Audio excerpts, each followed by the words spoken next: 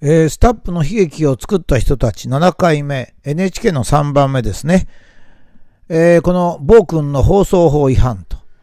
まあ、すでに、えー、示しておりますように NHK がこの事件で起こした反社会的な行為はですね、まずマッチポンプをしたってことですね。えー、サムラゴーチ氏の件と同じように、ほとんど報道の内容をチェックせずに、大々的に報道して、えー、笹井さん、小保方さんを持ち上げ、その後何の理由だかわからないんですけど、急激に、その批判を強めるという、ま、自作自演をやったということですね。2番は、スタップ論文の主要な著者は4人で、最も責任のある和歌山さんはほとんど追及せず、まあ、良い人悪い人というのを恣意的に分けたということですね。3番目が、意見の異なる2人、あの2つがあるのにもかかわらず放送法第4条に明確に違反して、まあ、ネスタップ論文に疑義を言う人だけの言い分を報道したと。4番目が、立憲の調査委員会が結論を出して論文は取り下げられたのに、その後も特定の個人をですね、連続的に批判するという、そういう挙に出たということですね。それから最後はですね、え、多くの人が番組を見て本当に嫌な気持ちになったわけですが、えー、おぼかたさんをホテルで追い詰めて2週間の怪我をさせ女子トイレに閉じ込め、まあ、個人の指針であるメールを公開してあたかも何か男女関係を匂わせるようなそういう三流週刊誌的な報道を取ったということですね。まあ、そんなところに我々が受信料を払えるわけではありません。えー、今日は3なんですけども、スタップロ事件が2月に起こってからですね、4月頃になりますと、この問題についての気色が鮮明になりました。えー、つまり当事者のうち、笹井さんは、小保方さんはですね、え研究も論文も一生懸命やったんだと。まあ、少し間違ったところもあったが、大筋で問題がないと。間違ったところはごめんなさいと。しかし、大筋は間違ってないということを、まあ、主張しておりました。えー、それに対してですね、当事者のうちでも和歌山さん、この人はもうほとんど大学の教授としての資格はありませんが、えー、和歌山さんとか利権ですね、利権ももちろん特許を出し記者会見を開いたわけですが、自分の行為は自分の意思ではないという、まあ、裏切りをするわけですね。から3番目に外野ですね。これはネット匿名のバッシング。まあ、テレビに出た専門家ですね。それからマスコミとか芸能人、アナウンサーなんかもありましたが、論文を取り下げろとか、再現性が問題だというような立場を取ったわけで、この人たちが何を言ったかは記録を取っておく必要があると思いますね。私はまあこれは準殺人罪に該当するような可能性があるというふうに思っております。えつまりこの問題はですね、えー、まあ裏切り者もいたんですけども、つまり自分の行為を自分で責任を持たないという人がいたわけですが、それ以外ははっきり2つに分かれております。えー、これは放送法第4条、これは極めて重要な放送法の条文なんですが、意見が対立している問題については、できるだけ多くの角度から論点を明らかにすることとありましてですね、この問題はもう非常にはっきりと意見が対立しておりました。えー、片方は当事者であり、片方は外野でありましたが、まあそれでも意見が対立しておりました。当事者同士で意見が対立するって無理やり言えば利権なんですが、まあ、利権はですね、あのなんで自分がスタップ細胞の特許を出したかということを釈明しておりませんので、ちょっと質が違うわけですね。報道は私はこの条文に最大限の敬意を払ってほしいと思うわけですが、えー、現実にはですね、えー、当事者側は記者会見の内容をそのままほぼ報道するだけで、また NHK の記者が記者会見でおぼかつさんとか笹江さんに発言したものは球団と言えるようなものでした。えー、つまりですね、研究論文も、研究も論文も非難するほどのことではないと、むしろ日本の学術の発展に寄与したんだという立場の論評は全くなかったんですね。えー、実はあの私のところにも10回程度テレビとか新聞などから取材がありましたがですね、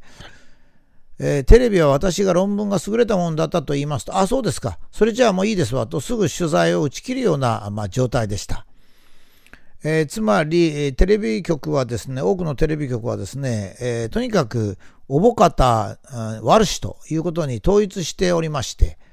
え、放送局自体が事実ではなく、ある価値観を持って善悪を決めているという姿勢がありまして、もうこれは今までも慰安婦報道とか、断金虐殺における朝日新聞の報道姿勢、もしくは台湾報道とか津軽報道における NHK の報道に象徴されるわけであります。私はこの状態を見てですね NHK はもう自ら善悪を決める神様になりですねそれを一方的に許容する暴君にもなったと、まいうふうに、まあ、感じるわけですね。NHK が神様になるというのはですねおそらく NHK に勤めますと非常に高級を取りですね平均1600万ぐらいだというふうにも報道されましてそれは後に1300万ぐらいに訂正されたようですけどもいずれにしてもかなりの高級を取りまあ、名古屋の NHK の放送局もそうですが非常に大きな建物の中に悠々と仕事をしおそらくガンガン冷房をかけ、え、国民には 6%CO2 減りなさ減らしなさいとエアコンを節約しなさいと言いながら自分たちは猛烈取ると、えー、しかも各家にですねしつこいほど集金人を回してですね、えー、生活に苦しい人たちから視聴料を取るとまあ、これは神様におそらくもなるのは防ぐことができませんね。それから政治家も NHK に抵抗できません。芸能人も抵抗できませんね。えー、ある私、えー、番組の時に休憩しておりましたら、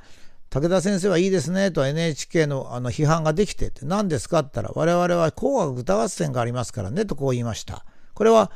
その芸能人だけのことか、それとも芸能界全体に、まあ、そういうことがあるのかよくわかりませんが、まあ、NHK が紅白歌合戦をそのような方法に使ってないということはですね、えこれほど大っぴらに言われるようになったからにはですね、ま、NHK として歌手の選考基準を明らかにするとかですね、ま、NHK に協力したとか協力しないとかいうことは別に NHK の番組に選ぶと。ま、いうことをですね、え、受信料を取っている放送局としての、まあ、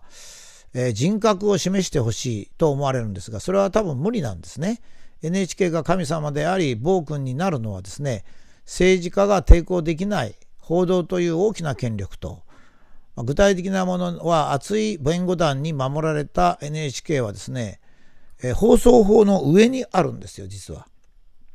放送法が NHK の活動を制限するんではなくて、ま、NHK は暴君ですから、俺が法律だと。だから4条は守らない。こういうことですね。ま、この意識がこの報道でもはっきり見えました。ま、後に言いますが、おぼかたさんに怪我させたりなんかしたのもですね、もちろん超法規的なんですけども、まあそれも構わないよというコメントを出しましたけどね、えー、まさに NHK が神様になり暴君になったと。いうことですね。芥川龍之介が言う、えー、報道はですね自分の娯楽のためにピストルの代わりに筆を取るんだと、まあ、いうふうに言ったものがまさに芥川龍之介が言ってから、まあ、100年ぐらいを経ってですね、えー、NHK がその現実的な姿を表したということが言えるんではないかというふうに思うんですね。おそらく NHK はですね何どんなに非難されても絶対大丈夫だ。俺たちは政治家にをちゃんと握ってるから芸能人を握ってるからということがま言えるんではないか。しかし私はね日本社会はそれほど甘くないと思いますね。やがてこの大きな不満がですね、えー、ま受信料をずっと払ってますからね、年間まあ例えば2万円ぐらい払ってる人がいれば30年間で60万円とかそういう巨額な額を払ってるわけですから、まあ、その人たちがそれだけ払ってもですねネットよりかネットとほぼ同等の情報しか得られなかったということになりますとですね、まあ、心の不安はかなり巨大なものになると、まあ、そのように